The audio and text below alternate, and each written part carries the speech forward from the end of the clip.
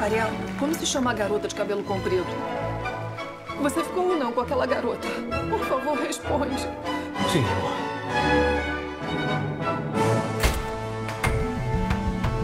Cada ação gera uma reação. E algumas reações são imprevisíveis.